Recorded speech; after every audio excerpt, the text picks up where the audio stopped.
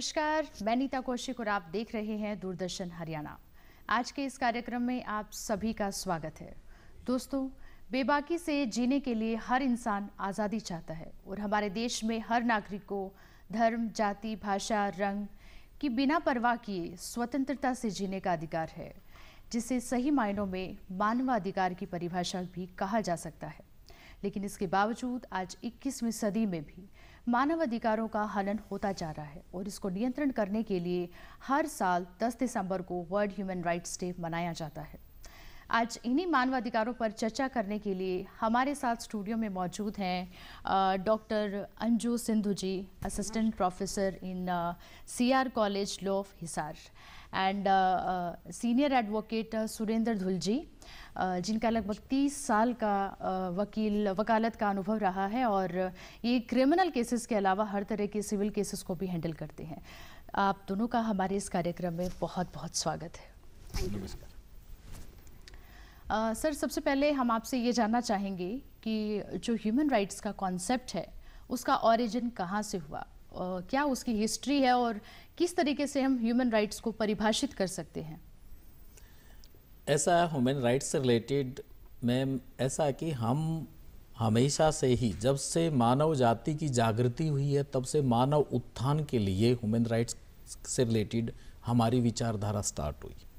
लेकिन इसी बात को मद्देनज़र रखते हुए यानी मानव जाति को समानता देने के लिए जाति के आधार पर और धर्म के आधार पर जैसा हमारा समाज बढ़ता चला जाता है उन चीज़ों को ख़त्म करने के लिए। एक मानव को स्वतंत्र बनाने के लिए अपनी आज़ादी से रिलेटेड आज़ाद जीवन जीने के लिए बिना किसी दबाव के बिना किसी प्रभाव के स्वतंत्र रहने के लिए जीने की एक कला है। और उसी से संबंधित हमारे 1948 में यूएनओ ने 10 दिसंबर का एक पर्टिकुलर डे इसी चीज़ से रिलेटेड सेलिब्रेट करने के लिए रखा गया। जी। और पहली बार 10 दिसंबर 1948 को यह मनाया गया और उसके बाद हर साल यह मनाया जाता है। जी। अब की बार भी इसी पर्पज़ के लिए इसको हम उसी तरीके से जैसे ये हमारी प्रथा मनाने की चली आ रही है इसके ऊपर हम हर साल एक थीम देते हैं। जी। अब की बार का जो थीम है वो यही थीम है कि हमने मानव अधिकारों को आगे बढ़ाना है। इसकी जागृति को आगे बढ़ाना है और इसमें जो कमियाँ हैं उनको दूर करना है। यानी कि इसमें हमने असमानता को कम करना है जी। और समानता को हमने बढ़ावा देना है। हवा जी, देना ऊपर उठाना जी, है मैम जो हमारा भारतीय संविधान है इंडियन कॉन्स्टिट्यूशन में हर भारतीय नागरिक के जो मानवाधिकार हैं उनको उनकी रक्षा को कैसे सुनिश्चित करता है इस बारे में आप थोड़ा सा विस्तार से बताएँ। जी। जी। जैसा कि सर ने बताया कि 10 दिसंबर 1948 को मानवाधिकारों की यूनिवर्सल डिक्लेरेशन हुई थी। तो ये वो वक्त था जब भारतीय संविधान बनाया जा रहा था। भारतीय संविधान 1946 में बनना शुरू हुआ था और उन्नीस सौ उनचास में बनकर तैयार हुआ था। तो ये वो टाइम था जब पूरी दुनिया में मानवाधिकारों की मांग उठ रही थी। तो भारतीय संविधान के निर्माता ने ज़्यादातर मानवाधिकारों को मौलिक अधिकारों में इंक्लूड कर दिया।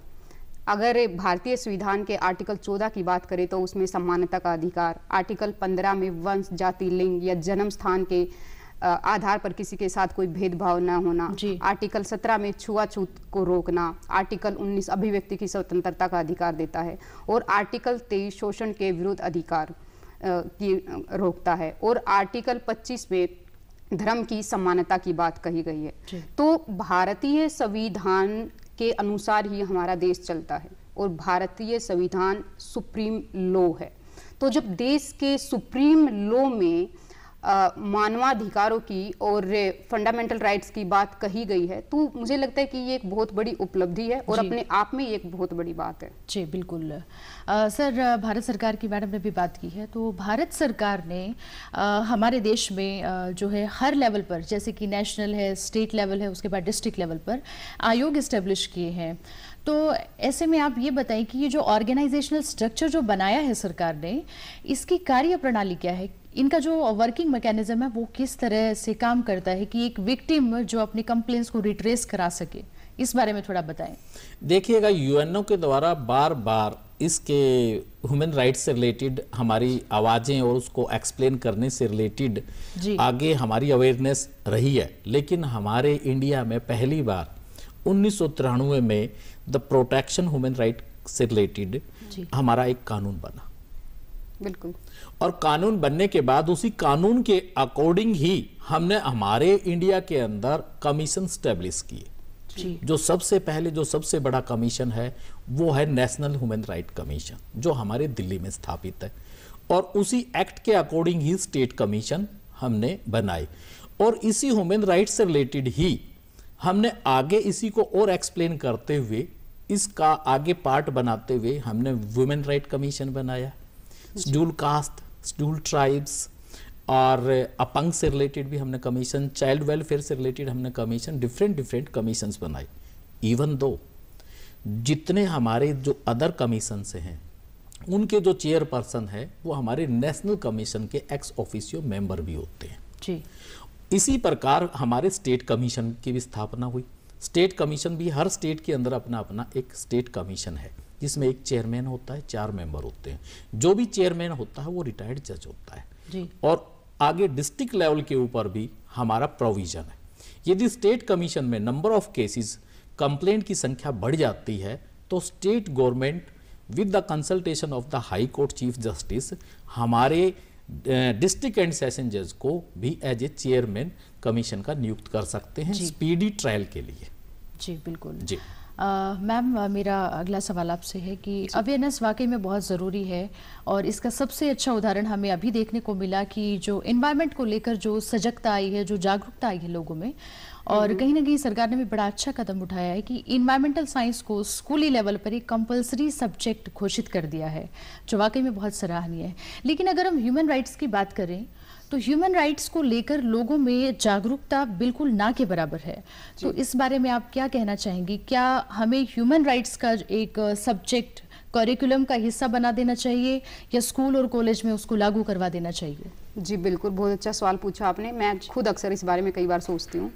आप ये देखिए कि हमारे स्कूलों में राजनीति शास्त्र पढ़ाया जाता है अर्थशास्त्र पढ़ाया जाता है गृह विज्ञान पढ़ाया जाता है और यहाँ तक कि ड्राइंग पढ़ाई जाती है। जी। तो आप ये मानिए कि क्या पता ड्राइंग और गृह विज्ञान के या अर्थशास्त्र के जो रूल्स बताए जाते हैं वो पूरी लाइफ में हमारे कभी काम भी ना आए हमें पढ़ाया जाता है कि बाबर कौन था अकबर कहाँ से आया हुमायूं का बेटा कौन था जी, बिल्कुल। तो ये चीज़ें शायद कभी हमारी लाइफ में काम भी ना आए और जो अ, हमें चीज़ों की बेसिक लो मुझे लगता है कि वो पढ़ाया जाना चाहिए और ये तभी संभव हो सकता है जब स्कूली पाठ्यक्रम में इसे शामिल शामिल किया किया, जाए। जाए जी। बिल्कुल तो जब तक लोगों को ये पता ही नहीं होगा कि मानवाधिकार क्या हैं, कैसे उनका वोलेशन होता है और उनका उल्लंघन होने पर आप कहाँ जा सकते हैं, क्या कर सकते हैं तो ये अवेयरनेस लोगों में तभी आएगी तभी उनको पता लगेगा जब स्कूली पाठ्यक्रम में इसे शामिल किया जाएगा बिल्कुल। तो बिल्कुल। मैं ये कहना चाहूँगी कि स्कूली पाठ्यक्रम में इसे शामिल किया जाना चाहिए जी बिल्कुल सही कहा आपने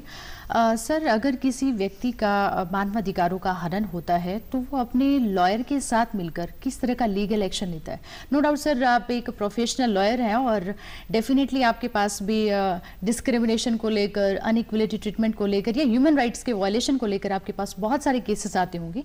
तो मैं यहाँ पर आपसे ये जानना चाहूँगी कि आप उन एजेंट्स को उन क्लाइंट्स को किस तरीके से लीगल एडवाइस करते हैं?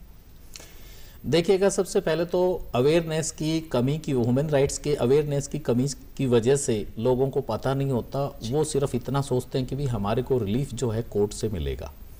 लेकिन नो डाउट कोर्ट रिलीफ देती है और कोर्ट रिलीफ उन्हीं में ही देती है कि जिनमें एक स्पेसिफिक एक्ट का प्रोविज़न है।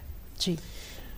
और जहाँ तक बात है कि उनका यदि हमें लगता है कि इसे ह्यूमन राइट कमीशन में आना चाहिए तो हम उनको गाइड करते हैं कि ह्यूमन राइट कमीशन में वो अपनी कंप्लेंट दर्ज करवाएँ। और ह्यूमन राइट कमीशन के अंदर कंप्लेंट हिंदी में इंग्लिश में या किसी दूसरी भाषा के अंदर भी कंप्लेंट दी जा सकती है। इन पर्सन भी दी जा सकती है। उसके लिए कोई फ़ीस नहीं है। उसके लिए किसी वकील का अंगेज करना वकील को फ़ीस दे के चलना ये कोई ज़रूरी नहीं है। कि उसमें कंप्लेनेंट अपनी सीधी दरखास्त भेज सकता है। हमारा हरियाणा में जो कमीशन है वो हमारा चंडीगढ़ में है सेक्टर 33 के अंदर निर्माण भवन के अंदर। उसके अलावा इसके दो ऑफ़िस और बनाए गए। जहाँ कन्वीनियंट लगे। दिल्ली में भी यदि हरियाणा से रिलेटेड कोई कंप्लेंट देना चाहता है तो हरियाणा भवन के अंदर दे सकता है। और चंडीगढ़ में सेक्टर 19 के अंदर भी हमारा एक ऑफ़िस है उसमें भी दे सकते हैं। जी। 19 बी के अंदर। और यदि लगता है कि कि हाँ मैं कंप्लेंट जो है ना डायरेक्टली इन पर्सन देना चाहूँगा तो इन पर्सन भी दे सकते हैं। जी बिल्कुल बिल्कुल सही आपने बताया। मैम अगर बात करें एक तरफ़ ह्यूमन राइट्स हैं और दूसरी तरफ़ ह्यूमन राइट्स की अगर बात करें तो आपको क्या लगता है क्या ए, ये दोनों राइट्स एक ही सिक्के के पहलू हैं या फिर दोनों एक दूसरे से बिल्कुल अलग हैं? इस बारे में आपके क्या विचार हैं? जी मैं कहना चाहूँगी कि देखिए अगर जो मानवाधिकार हैं मानवाधिकार का मतलब क्या है? कि मानव को मानव होने के नाते जो अधिकार मिले वो मानवाधिकार बिल्कुल। जब एक इंसान पैदा होता है तो वो अपने मानवाधिकारों के साथ पैदा होता है। तो मानवाधिकारों में चाहे वो पुरुष है या महिला है दोनों ही मानव हैं। अगर महिलाओं को मानव होने के नाते अधिकार मिले हुए हैं तो अलग से उन्हें महिला अधिकारों की क्या ज़रूरत है? आप देखिए कि संसद की अगर हम बात करते हैं तो उसमें पंद्रह प्रतिशत महिलाएँ नहीं है। जी या हायर पोस्ट पे हम बात करें चाहे यूपीएससी है एचपीएससी है सुप्रीम कोर्ट है हाई कोर्ट है तो वहाँ पर भी महिलाओं की संख्या है वो ना के बराबर है। तो हमें ज़रूरत है कि जो मानवाधिकार हैं वो पूरी तरह से हमें मिलें। तो अगर मानव होने के नाते मानवाधिकार हमें मिले हैं तो मुझे नहीं लगता कि अलग से महिला अधिकारों की हमें ज़रूरत है। बिल्कुल इसके साथ मैं आप, आपके साथ बिल्कुल सहमत हूँ। सर मेरा अगला सवाल आपसे कि सर भारत सरकार ने जो मानवाधिकारों के हनन के लिए एक आयोग स्थापित किया है और इस एक आयोग के अलावा और भी बहुत सारे आयोग बनाए हैं जैसे राष्ट्रीय अनुसूचित जाति आयोग है अल्पसंख्यक आयोग है पिछड़ा वर्ग आयोग है और भी बहुत सारे आयोग हैं। तो यहाँ पर मैं ये जानना चाहूँगी कि इतने सारे आयोग होने के बावजूद आज के वक्त भी मानवाधिकारों का हनन होता जा रहा है। तो इस बारे में आपके क्या विचार हैं?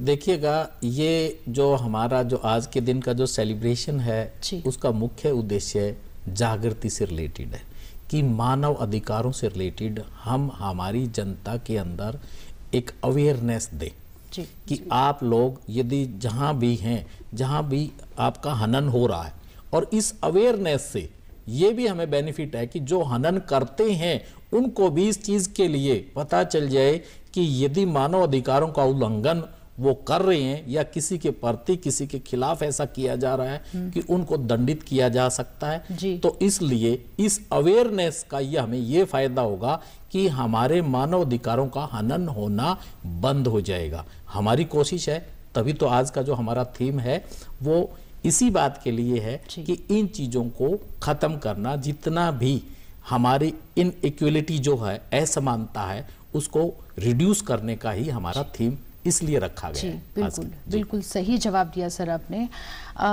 मैम एक बहुत ही इम्पोर्टेंट सवाल है कि हमारा जो देश है वो फुल ऑफ़ डाइवर्सिटी है। यहाँ पर हर तरह के लोग रहते हैं अमीर गरीब हम सब जानते हैं इस बारे में। तो यहाँ पर ये अ, मेरा सवाल है कि जो इकोनॉमिक प्रोग्रेस है यानी ह्यूमन का जो डेवलपमेंट हो रहा है मॉडर्नाइजेशन की वजह से या लाइफस्टाइल की वजह से किसी भी तरीके से उसका ह्यूमन राइट से क्या लिंक है क्या रिलेशन है उसका? देखिए मेरा मानना है कि ह्यूमन राइट्स की प्रोटेक्शन के लिए तीन बातों का होना बहुत ही ज़रूरी है। जी। एक राजनीतिक न्याय सामाजिक न्याय और आर्थिक न्याय। जी। जब एक इंसान आर्थिक रूप से सशक्त नहीं होता है तो ना सिर्फ़ उसके मानवाधिकारों का हनन होगा बल्कि उसका उत्पीड़न भी होगा।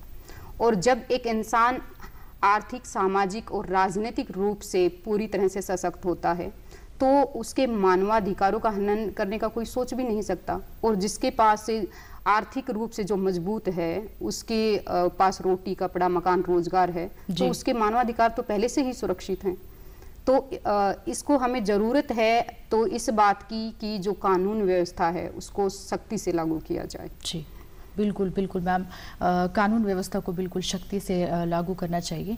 अ, सर मैं ये जानना चाहूँगी कि भारत सरकार ने जो नेशनल लेवल पर और स्टेट लेवल पर जो ह्यूमन राइट्स कमीशन इस्टेब्लिश किए हैं उनका मैं ये अ, उनके पास हियरिंग पावर तो है लेकिन मैं ये जानना चाहती हूँ कि क्या उनको पनिशमेंट करने की पावर भी है? देखिएगा पनिशमेंट दो प्रकार की होती है एक क्रिमिनल और एक सिविल। क्रिमिनल से रिलेटेड भी उनके पास बहुत इनहेरेंट पावर्स हैं।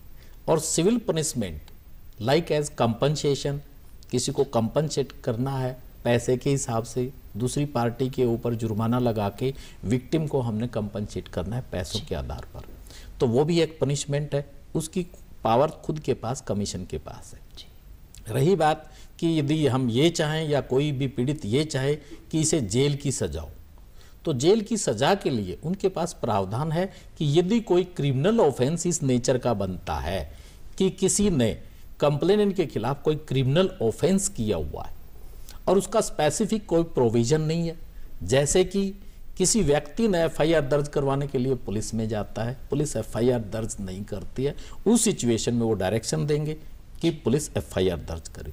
फिर भी इनसे भी यदि कोई डिफरेंट नेचर का केस है तो वो कमीशन के पास पावर है कि वो कंसर्न जो जुडिशियल मजिस्ट्रेट है उनको केस को रेफर किया जा सकता है।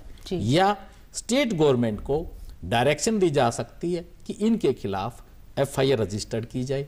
पुलिस अधिकारी के को डायरेक्शन दी जा सकती है कि वो खुद इन्वेस्टिगेट करे। कमीशन के पास ये भी पावर है कि वो फर्दर इन्वेस्टिगेटिंग ऑफिसर के तौर पर एक कमीशन भी नियुक्त कर सकते हैं। जी। और उसमें जैसे कि आपने सजा की बात कही है इसको थोड़ा सा और मैं एक्सप्लेन ये कहना चाहूँगा कि कंसर्न जुडिशियल मजिस्ट्रेट को भी आगे ऑर्डर कर सकते हैं कि वो इन्वेस्टिगेट खुद भी करें। जी। यानी कि आपके अनुसार जो नेशनल और स्टेट लेवल पर जो ह्यूमन राइट्स कमीशन हैं वो सिर्फ़ एडवाइजरी बॉडीज नहीं हैं उनके पास पनिशमेंट की भी बिल्कुल बिल्कुल है। बिल्कुल जी, जी। मैम यहाँ मैं आपसे ये सवाल पूछूँगी कि जो मानव अधिकारों का किसी व्यक्ति का अगर हनन होता है या आ, हमारे गवर्नमेंट की तरफ़ से आ, स्पेशल राइट्स भी दिए गए हैं मानव अधिकार दिए गए हैं लोगों को लोगों की सुरक्षा को सुनिश्चित करने के लिए लेकिन आए दिन हमारे हम देखने को मिलता है सुनने को मिलता है कि मानव अधिकारों का आज भी हनन होता जा रहा है। तो आपको क्या लगता है कि हमें ऐसे कौन से कदम उठाने चाहिए? आयोग को ऐसे कौन से कदम उठाने चाहिए सरकार के साथ मिलकर कि इनको हम रोक सकें? देखिए जहाँ मानवाधिकारों के उल्लंघन की बात आती है तो आप हमें सबसे पहले ये देखना है कि हमारे भारतीय संविधान में समानता का अधिकार शोषण के विरुद्ध अधिकार अभिव्यक्ति का अधिकार दिया गया है शिक्षा का अधिकार धर्म का अधिकार ये सब दिए गए हैं। तो हमें ये देखना है कि जो शिक्षा है वो किस तरह की शिक्षा दी जा रही है। या धर्म के नाम पर दंगे होते हैं हिंसा होती है। तो किस तरह से आ, लोगों में ये देखने को मिलता है कि अवेयरनेस इसके प्रति उसमें नहीं है? तो स्टेट लेवल कमीशन लेवल सबसे पहले अवेयर करे लोगों को पहले ये पता हो कि जब आपके मानवाधिकारों का हनन होता है तो आप कोर्ट का रास्ता ले सकते हैं आप आयोग में जा सकते हैं। तो ये रास्ता लोग तभी अपनाएँगे जब उनको पता होगा अवेयरनेस होगी। उनको इस बारे में नॉलेज होगी कि जब हमारे मानवाधिकारों का उल्लंघन होता है तो हम कहाँ जा सकते हैं और क्या कर सकते हैं। जी बिल्कुल सही कहा मैम आपने। आ, मैं आप दोनों से एक बहुत ही महत्वपूर्ण सवाल पूछना चाहूँगी कि आ, हमारे भारत में आज भी ऐसे बहुत सारे एरियाज़ हैं जहाँ पर अशांति का माहौल बना रहता है। जैसे नॉर्थ ईस्ट है जम्मू कश्मीर है।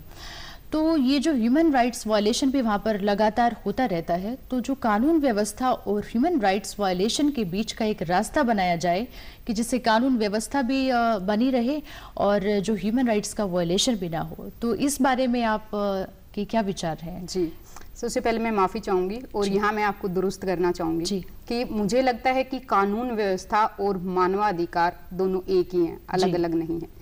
क्योंकि कानून का काम क्या है? कानून का काम है लोगों को अधिकार दिलवाना। और जब लोगों को उनके अधिकार मिलेंगे तो इसमें कानून व्यवस्था खराब कैसे होगी? बिल्कुल सही कहा आपने हाँ। इसमें जो भी कानून स्पेसिफिक प्रोविज़न यदि उसके लिए कोई स्पेसिफिक एक्ट बना हुआ है उसके लिए कोई भी विक्टिम अपना by way of case civil या क्रिमिनल से वो अपना बेनिफिट अपना ग्रीवियंस कोर्ट में रख सकता है। जी। और जिसका स्पेशल कोई एक्ट में प्रोविज़न नहीं है उससे रिलेटेड कमीशन में जा सकते हैं। यह ह्यूमन राइट कमीशन एक ऐसा है कि जिसका अभी तक कोई कानून नहीं बना है जी। तो वो सीधा कमीशन में जा सकता है। लेकिन इसके लिए कुछ एक कंडीशंस हैं वो मैं आपको बताना चाहूँगा कि इसके लिए एक साल की लिमिटेशन है। जो भी ऑफेंस यदि हुआ है उसका विद इन वन ईयर वो डाल सकता है। दूसरी बात लोग जो है ना पहले से यदि कोई केस पेंडिंग है तो वो मेंटेनेबल नहीं हो पाएगा।